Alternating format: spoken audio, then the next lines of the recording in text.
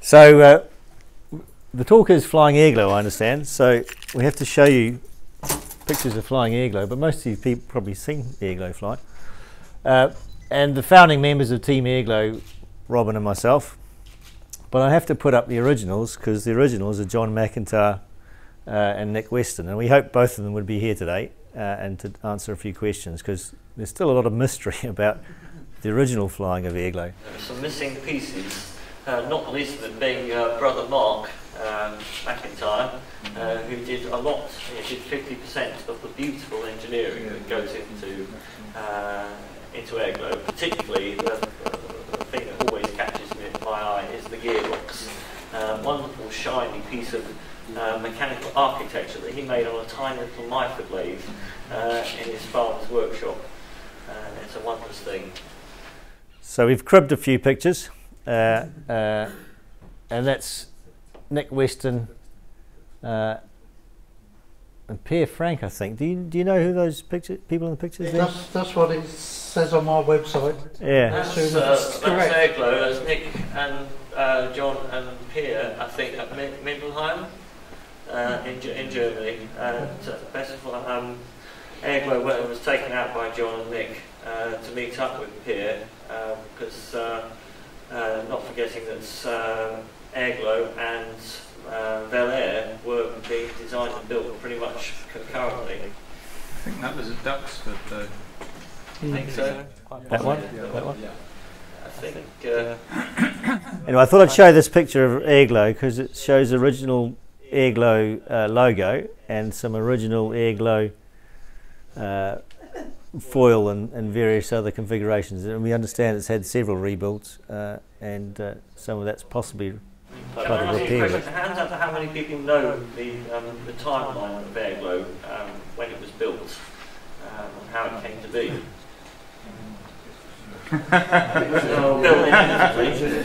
Um, and for those who don't know, um, Airglow is a result of um, John having completed his masters in shipbuilding design deciding that uh, actually he quite fancied getting involved in human powered flight uh, and spending some time with the uh, MIT NASA uh, group out in uh, Crete uh, in 1988 when they flew Daedalus, the uh, 32 34 metre wingspan aircraft across the Aegean Sea to the Isle of Santorini, setting a new and as yet unbroken uh, distance and duration record. Uh, John spent time out there taking lots of photographs, uh, making lots of notes, sketches. Uh, he was already at the time in the process of building Airglow, uh, and I understand had received a grant from the Royal Aeronautical Society for materials with which to build it.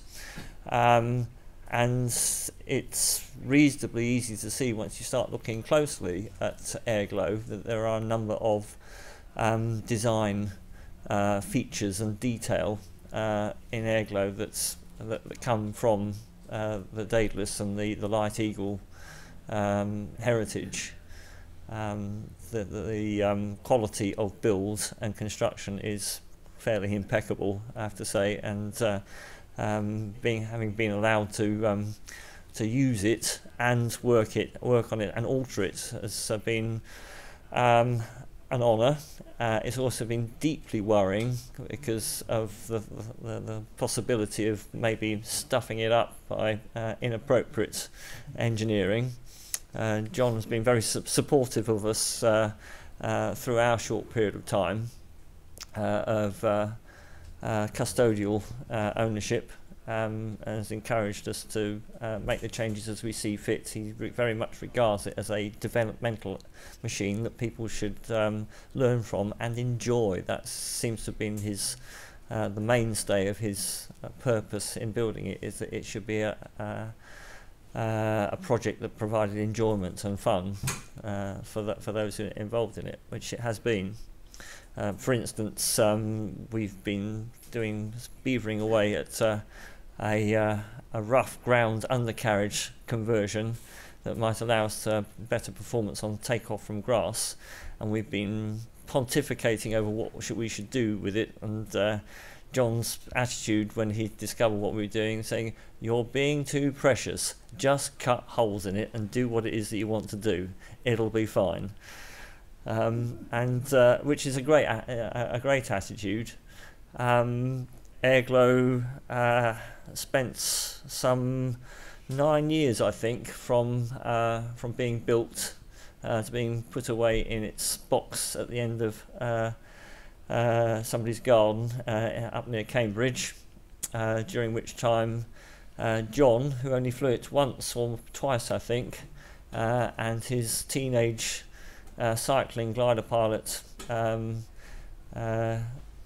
chap, uh, young chap Nick Weston, uh, flew and developed the aircraft, um, messing around with basic settings which John had calculated almost exactly on right from the word go. Um, uh, it flew you know, within a, within a few flights. They had had had it trimmed uh, and were able to um, conduct uh, stable flights over over some distance. Uh, they had also looked at um, uh, uh, all the other, it had originally been designed with rotating tip um, sections to, to, give them a, uh, a degree of roll control. Uh, this was later abandoned, uh, and we were um, it, it, it, was recommended by John when we took took charge of the aircraft that we uh, forget about those, um, lock the incidents on the tip fins because they'd uh, they had had limited, uh, almost negligible um, uh, roll um, effect, uh, given the, the, the amount of um, deflection that they were they were, they were allowed to, to give. So um, they also uh, had a little go with a um, uh, a little V twin. I think how many horsepower, Bill?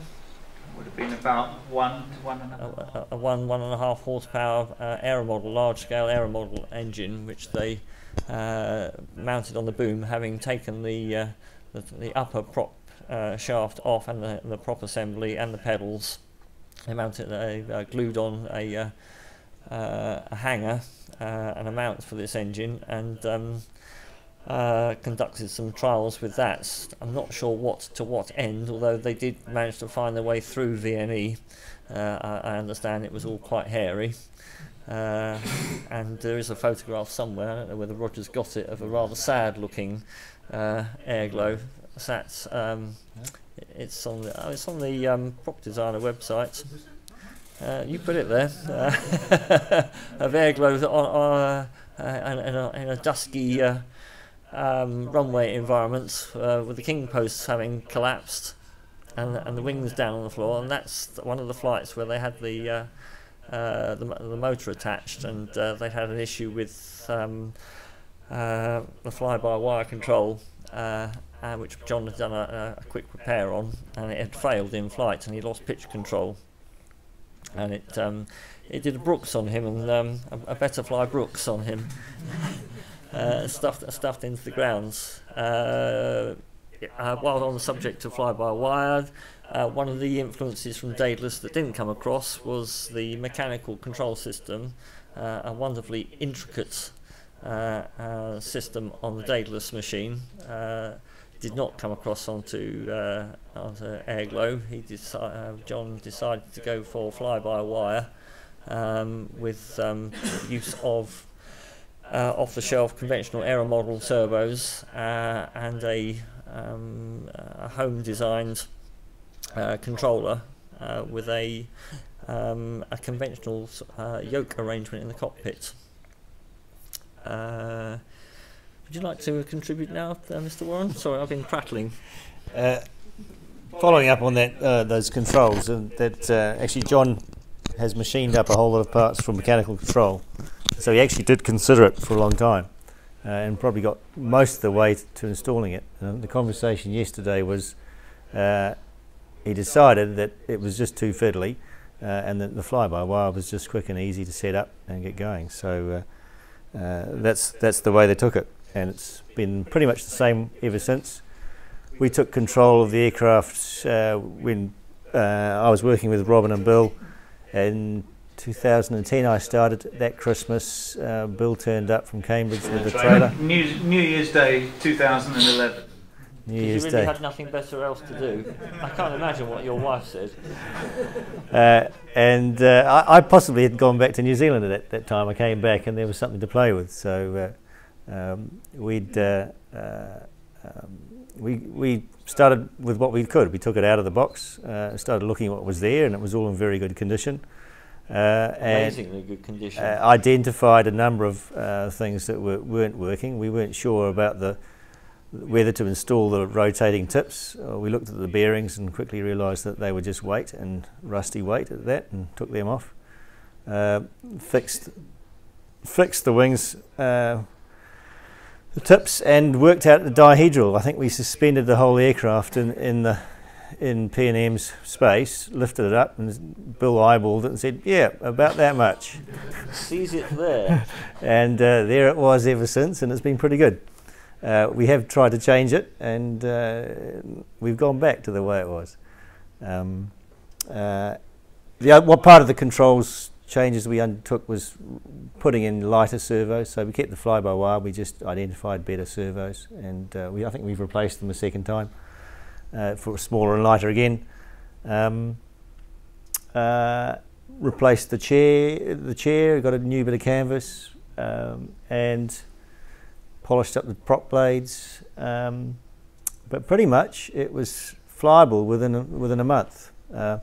And our first test flight was fairly hairy. Talking about test flights, I haven't got it on here, but that's the first month in P&M. So we, you know, it was since then you might notice that we've destroyed this part of the windscreen, having taken it off a couple of times. So we've patched that up and we've patched it up down here. But it was a very good windscreen when it came to us. Uh, but otherwise, it's uh, much the same. So it was a very good build, very good bit of engineering. Apart from uh, the controls, which were good, somewhat basic, would strike your knee a bit. Uh, but that's a picture inside the cockpit, and it's very cramped. Uh, so one of our mods, possibly after Bill pulled off the control frame, Yeah.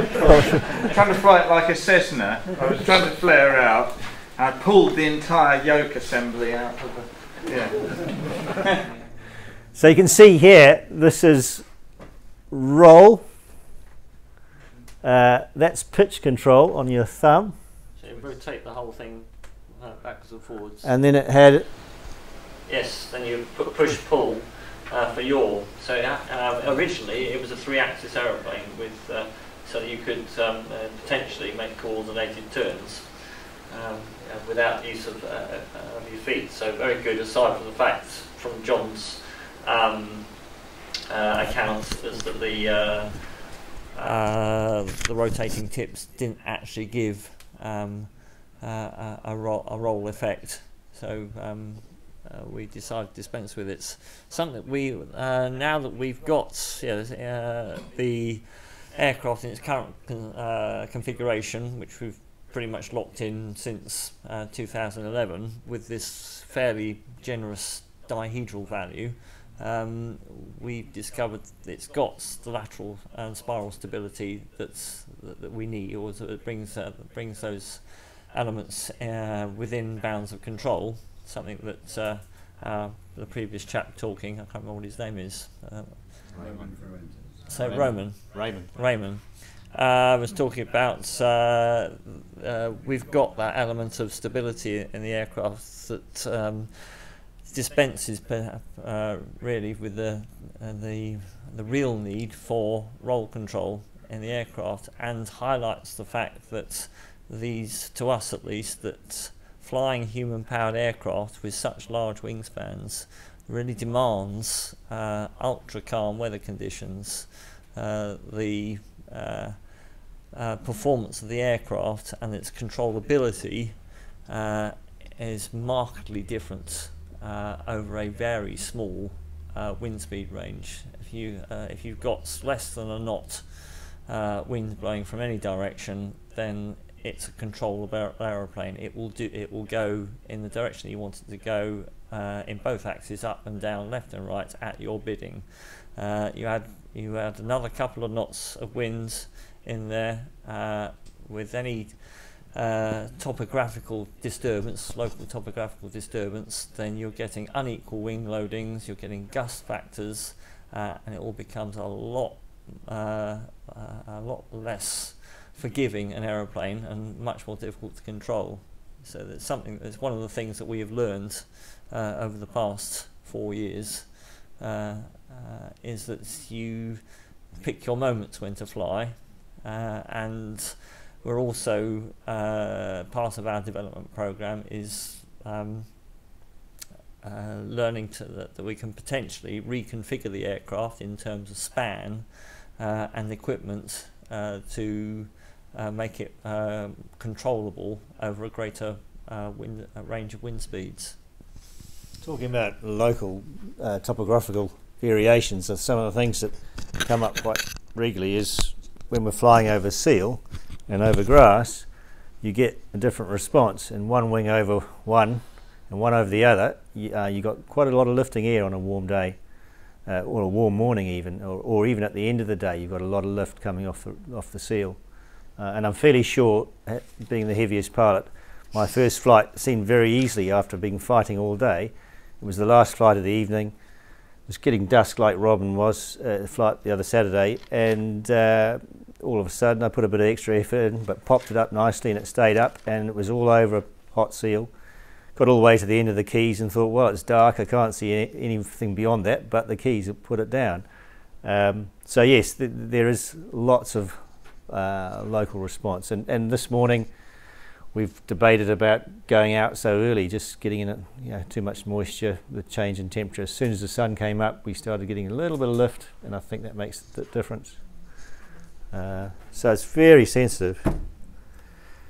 Uh, one of the contentious modifications that we did uh, was uh, an extension of the crank. Um, was discussed at, uh, at, a long length and, and, and it was decided as a team that we needed to move it ahead. how much it moved was discussed, but it, it, went to the length it did, which is probably a bit longer than rest of us anticipated. So we had some very good short pilots, and unfortunately, they can't fly the aircraft so well anymore. But this is the process of us removing the the fuzz, uh, and uh, it's probably the time we damaged the screen actually, uh, and extending it out and bracing it and the carbon on the nose there. You can see what we're doing, adding this work in. I think you added in a tube as a former, didn't you? Correct. Yes uh, and then extended it out. Uh, and a very good modification in the end. It, uh, Robin was very anxious, having not done much carbon work, uh, how good it would turn out. But uh, it's probably some of the best carbon work I've seen. It's, he, he spent a long time getting it just right and perfecting it. And by the time we only just got it done in time for uh, the Icarus Cup at Sywell, but so we hadn't test flown it, I think, even before Sywell. but the preparation had gone into it. The other discussion is that we couldn't really move the seat back. There might be one or two mil we could get, or maybe even 10 centimetres, uh, 10, 10 millimetres, a centimetre to move the seat back, but it's not going to gain what Robin needed, and he was our best performing pilot at the time. So uh, we've still got some debate about what to do to, to keep our range of pilots there, because it's very useful to have a range of pilots. Fundamentally, this has highlighted the, um, the absolute need to um, have control over your centre of gravity in an aircraft of this nature. On a powered aircraft, um, three-axis uh, machine, centre of gravity is uh, is very important, of course. However, there's uh, a reasonably generous range of COG that you uh, can get away with uh, in terms of you can balance out um, your uh, your, uh, stability uh, by um, aerodynamically with a um, uh, with a trim uh, a range of trims settings for the uh, the uh, the elevator on the on the tail assembly. you can do the same on a human powered air, aircraft, but of course, if you have a um, uh, a deflected um, uh, control movable control surface, um, uh, and you direct, um, uh, move it away from its uh, uh, neutral angle of incidence, then you're going to create drag, and drag is the enemy of all human-powered flight. Uh, so you really, which is why these machines are designed with the central gravity very close to the neutral point of the main wing. Uh, so yes, we can um, uh, we can recover this um, migration of the uh, of gravity uh, a couple of ways. Um, we uh, well, there are a couple of uh, several ways we can deal with this. Uh, we can um, uh, make the modifications uh, less than it was, bring it ba- closer back to uh, its original standard. Uh, we could potentially move the wing itself, change its mounting points.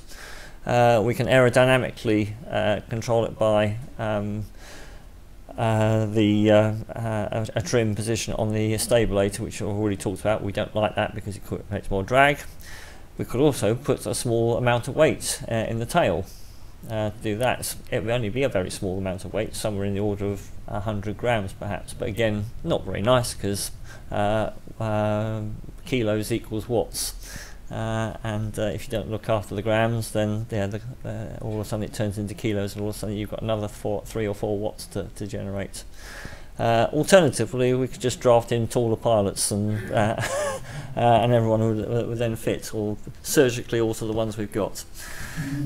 Uh, but um, yes, um, possibly a um, uh, an ill-advised move, but uh, I think we've got several options to uh, uh, to recover that and make it um, an aircraft that's more that's accessible to all. And, and we'll not forget, of course, again that Airglow was not desi- not de- optimally designed for any particular purpose. Uh, for instance, uh, Daedalus uh, and the other aircraft that were designed uh, before them, the Gossamer aircraft, were optimized specifically for a particular flight. Um, Daedalus uh, was uh, constructed uh, such that it, uh, it, it structurally sound up to less than one and a half G, uh, and it showed that um, uh, you know, when uh, encountering some fairly modest buffet uh, and turbulence uh, over the beach at Santorini, and that modest buffet caused it to caused it to structurally fail. But it had a 34 meter wingspan. It only weighed 32 kilograms.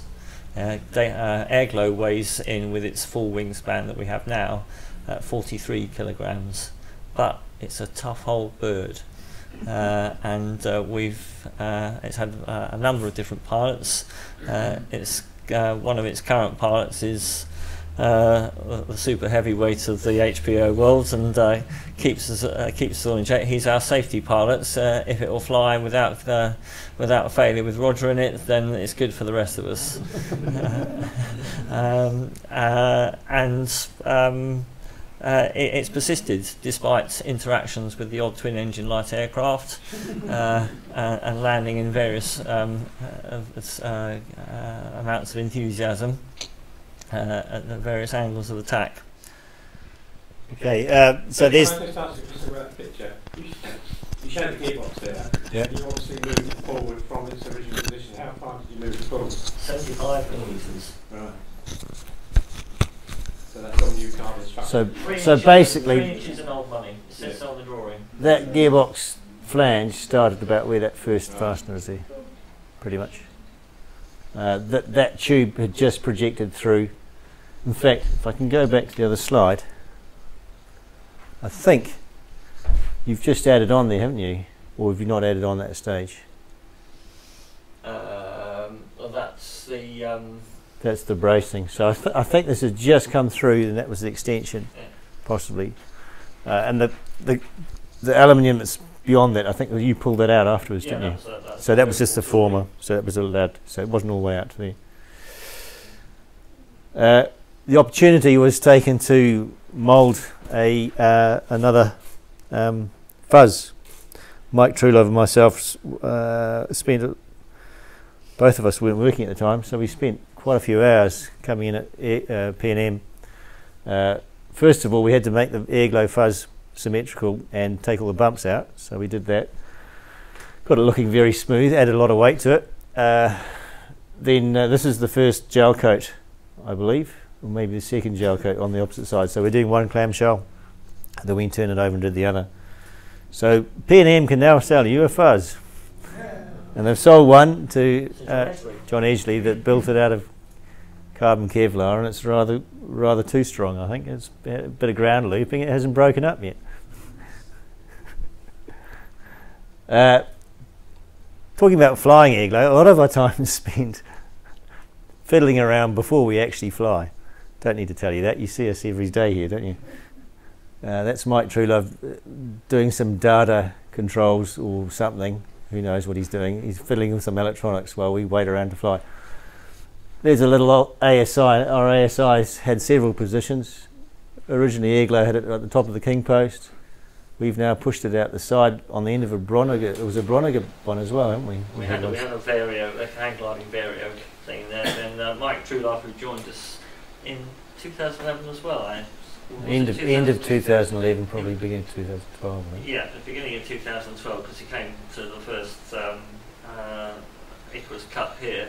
But uh, Mike's speciality is electronics, mm. uh, and uh, he's now doing uh, for John Edgley's team the same that he did for us, which is uh, in our in our case he redesigned the control system, made new controllers, installed new, more powerful servos, uh, and created a rather comprehensive instrumentation and data logging pack the size of a packet of cigarettes, not much heavier, uh, complete with uh, airspeed, altitude, um, GPS location, um, battery voltage, heart rate, cadence, uh, and latterly, uh, just completed uh, before Christmas uh, this last year, a power meter, his own design, built into the transmission system to replace the one that John had originally built, that is giving some quite credible data until it fell apart the other day and needs rebuilding. But um, power measurement uh, is becoming uh, an area which we are quite, uh, very interested in, um, if, if, only from a practical um, perspective. Uh, if we can develop a, set, uh, field of data on the power required uh, to fly airglow at different takeoff weights and different airspeeds, then we can use that data to um, give prospective pilots and current pilots um, uh, training targets. Uh, we've got the ergometer, which we've uh, calibrated uh, to um, uh, to the aircraft um, uh, in conjunction with what the work that Mike had done with the power meter. Um, in, impatient as I am, because that was taking a long time to come to fruition, I struck a deal with Garmin and acquired a set of Vector power pedals uh, which um, could basically bolt onto the uh, onto the cranks uh, of the aircraft, uh, and you have a little stand to one of their uh, all singing, all dancing um, cycle computers, and that data logs, measures and data logs power as well as cadence, um, pedal, pedaling smoothness, um, speed, global and GPS position. So it's really quite a useful snap-on um, uh, piece of instrumentation that weighs you know, very very little. Um, so that's uh, that's an area that we've been um, very interested in and are currently pursuing, uh, so that you know, we can get ourselves in a position uh, uh, uh, flying the aircraft for longer as we're in the UK and not richly endowed with huge, uh, great desert areas where you can fly for 20 miles at a stretch in a straight line. Um, uh, involves flying around corners. Uh, not much of that has been done uh, in uh, uh, human-powered air aircraft in this country. Um, of course, there are the likes of um, Musculair, the Bionic Bat, uh, amongst others that uh, have flown the uh, the triangular course for the uh, for the speed uh, records. And so they've clearly demonstrated that, uh, and we're now starting to demonstrate an ability to fly around the triangles that are being set as tasks in this competition. Uh, but uh, long duration flights uh, are really flying in circles or flying within the bounds of, of airfields, and that's another area of our um, endeavour that we've been looking looking at is to get a controllable aeroplane, um, um, which uh, which will allow us to do that with a degree of ease uh, and reliability. Just on that, the, the most recent thing, trying to get it to turn, we had to get it to fly straight first. Um, and uh, I think for the last three years we've been working on various things to get it to fly straight. Uh, and eventually we've analysed the wing uh, and discovered there was a twist in it. We looked at, well, first of all, we had twists in the super tips. So we took those out on the second year. That required us to bore out uh, probably about six, eight, or about half of the super tip ribs. We had to bore around the carbon. We basically Possibly we should step back a, a, a, a, mark. Um, when we got the aeroplane in 2011, uh, it had a 27 metre wingspan. Uh, the, uh, the and the wingtip sections were approximately a metre and a half in length each of them. And they were the ones that were supposed to rotate. And then we decided uh, uh, follow Johnson's advice and block them out, and they didn't rotate. Also in the box was another set of wingtips. They were twice as long and uncovered. They, were, they had the leading edges and the ribs and everything there. They just lacked the uh, uh, mylar covering.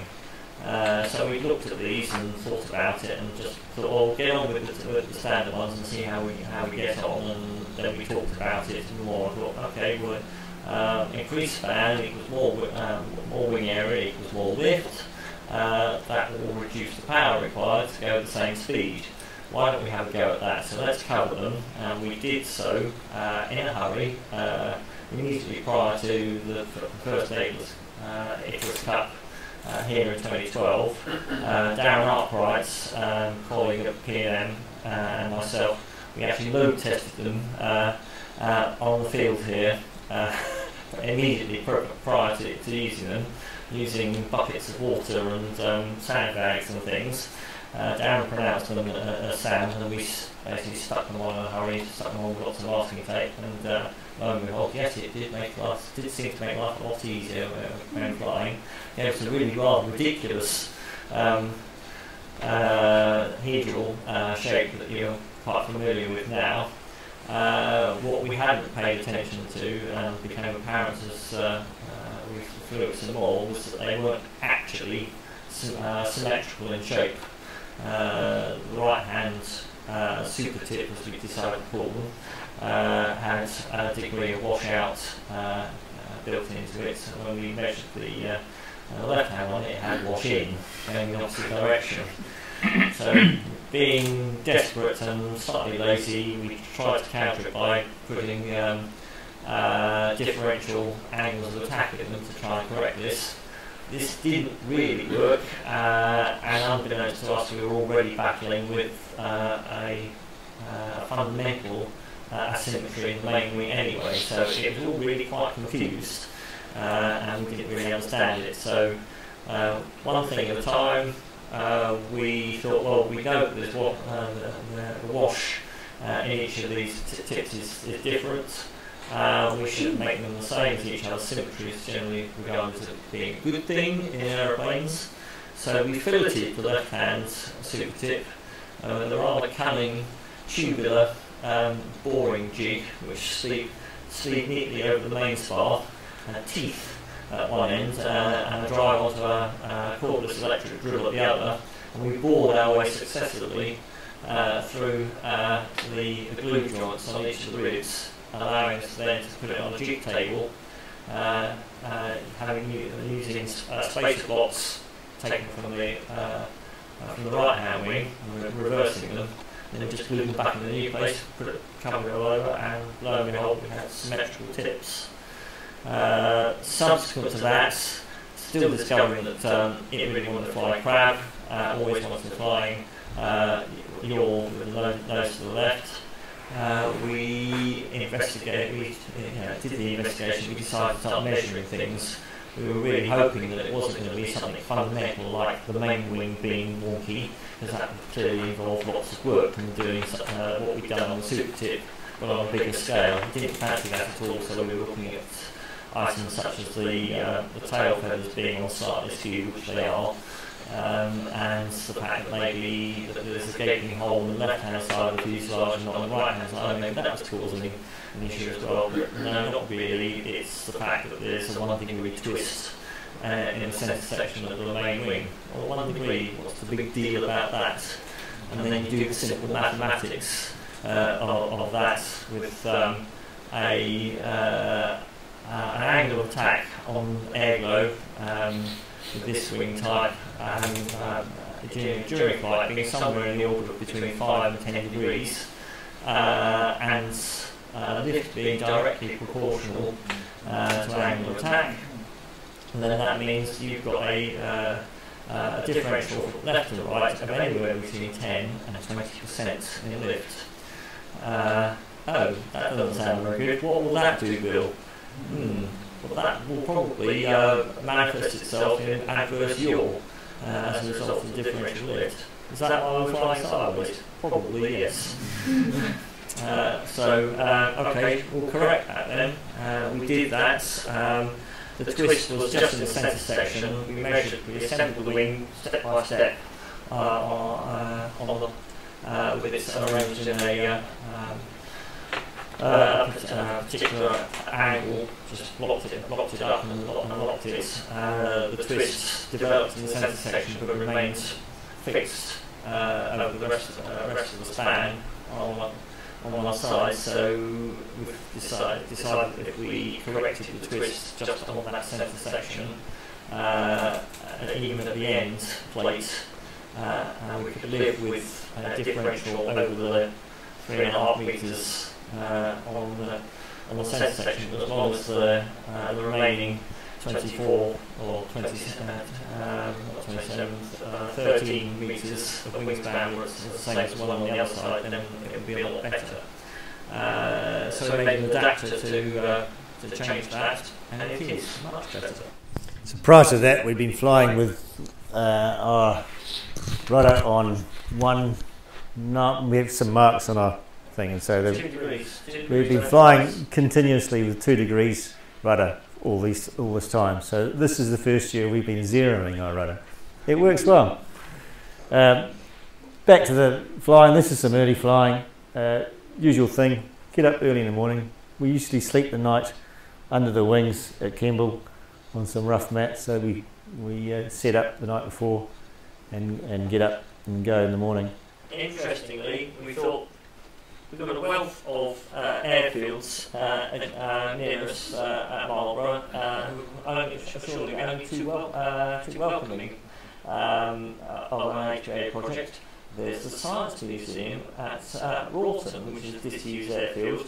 Um, uh, I've been out there uh, uh, on one occasion this month before, uh, watching as Bill and took part in one of the scrap heap challenges and did some flying stuff over there. I thought that, that was just a job. It's literally round the corner from where us uh, welcomed us with open arms.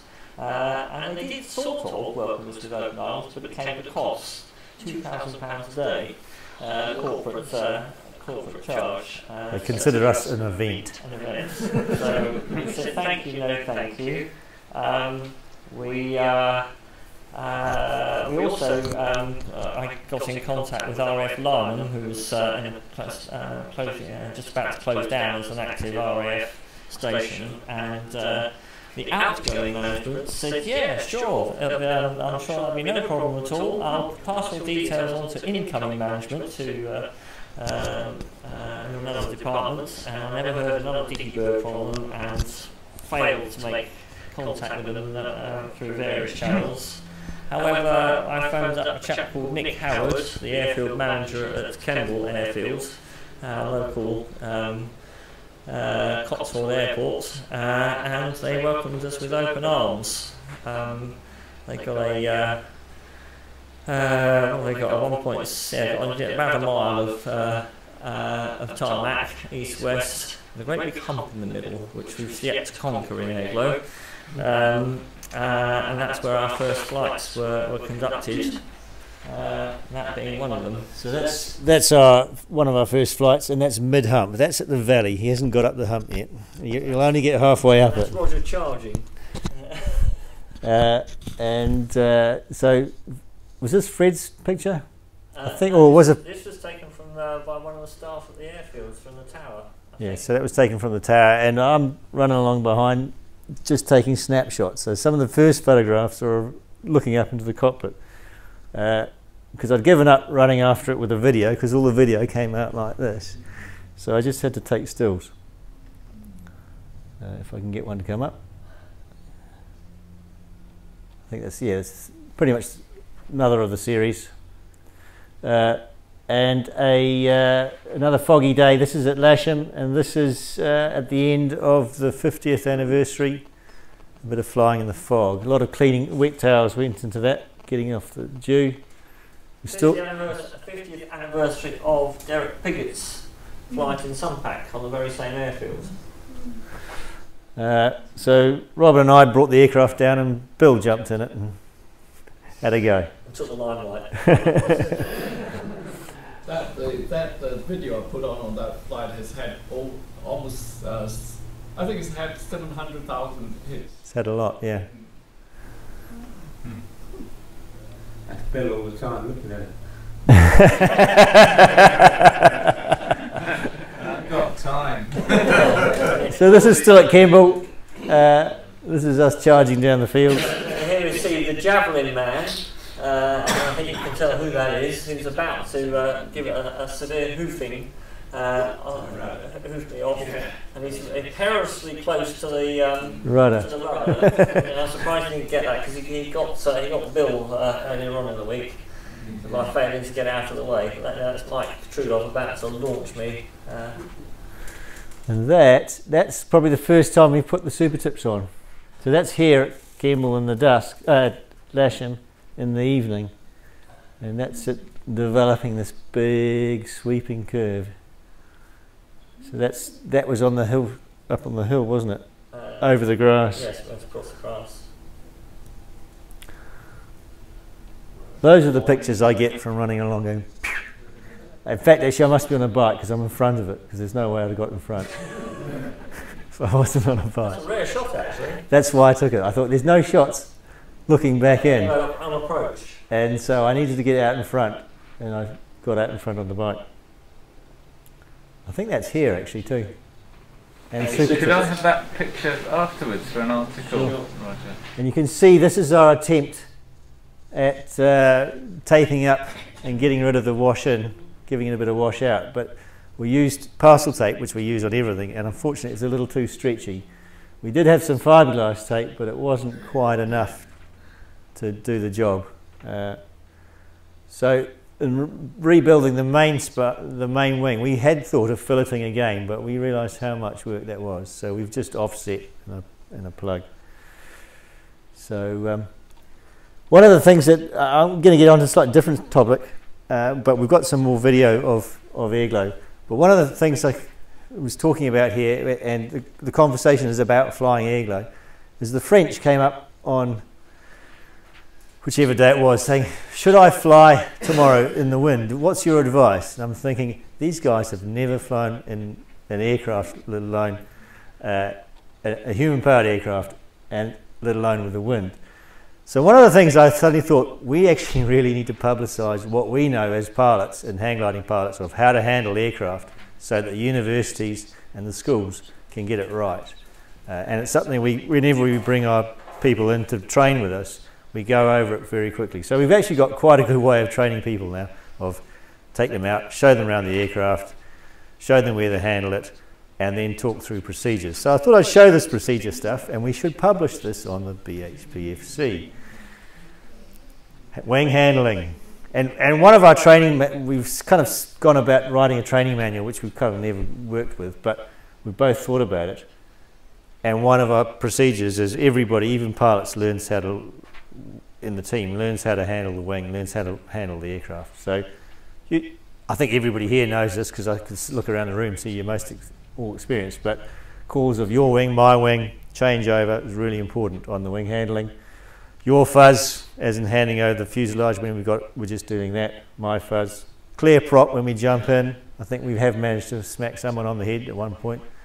Just as you jump in, you're clipping in your feet. You- You've got think it was me. You've got a, you've got a, you know, you've got a two to one ratio. So a small movement on your feet gives a, at least a half revolution on the prop, and it'll swing around and get you. The other thing that we're doing with launching is uh, checking with handlers and, and calling your actions because we've taken off once without someone chasing and, and running around grabbing bikes while the, while airglow's halfway down the airfield, and then you've got to catch up. It's all a bit scary. Uh, so uh, yeah, we, we, we're getting better at calling our procedure, looking at who's there, who's doing what, who's going to be chasing, uh, and we've. I see Mike's taking it through to aerocycle, his calling of walking and running, or walking, rolling, and going through uh, the other thing of, of not not overpowering cycling as you go. So you're just spinning up the prop call out, all out, all out. And all out, all out is from a hang, a hang gliding and a, and a gl- a gliding term of, of, of your towing instruction. So it's usually for uh, uh, your instruction over the radio for the, the winch to, to, to haul you up. Uh, pilot or javelin man, often I, I'm often calling release on the javelin. So I don't know if the pilot can hear it but it's just to let them know that I've released. And if I've got wing handlers with me uh, when I'm on the javelin man, I want them to release as well. Because if I start giving a last little push on the on on the on the uh, fuselage, I don't want one wing just to get caught out and pulled down. So if they haven't released, you'd hope they're going to release. Uh, and then I just threw some stuff up here about what you do as a pilot you're getting up and then you're easing back on the controls. It was mostly for uh, inexperienced people, but uh, we don't have so many today. And also, people have been asking about what it takes, and I think this is a, something that Robin had put up previously about watts. Everybody goes on about it, but there's our table of pilot weight and uh, takeoff weight. And I don't know if that's still current. Will you still agree with those numbers? I think I've pulled it out of a document. That's, about that's about right. That's making that, and that's on the basis of an aircraft that weighs somewhere in the order of 40 kilos, because your your the power required to get you into the air has to include the aeroplane as well. It's the, it's the max. It's, it's the all-up weight that you're that you're providing power uh, to get into the air. So if you uh, if you're uh, uh, the combination of the aircraft weight and your weight equals 100 kilograms, working on a basic human powered um, rule of uh, power rule of thumb of between 3 and 3.5 watts per kilogram, uh, then you're liable uh, to produce uh, between 3 and 350 watts in order to maintain uh, flight in that aircraft, depending on its um, uh, on the efficiency of the aircraft um, and uh, and conditions. So just going to show some of the things we were talking about earlier um, on, on a, hopefully I can get some YouTube video up here um, on high wind flying, the difference it takes. We've got a really good video that Fred did. I uh, might have listened, or maybe the, the one below is from Fred. Anyway, one of them there's a video of us flying in high winds. Definitely Fred's. Uh, and the photo, just if you if you're asking, is uh, Sywell. Um, I believe that's the Sywell photo. So I'm just hoping this guy's connected to the net internet and I can bring a leaving. Look at that now. Sorry, You want to look at that now. if we could, I can probably if you- if you can get up on that one and we switch it over maybe. Yeah, if you put the um, lead back into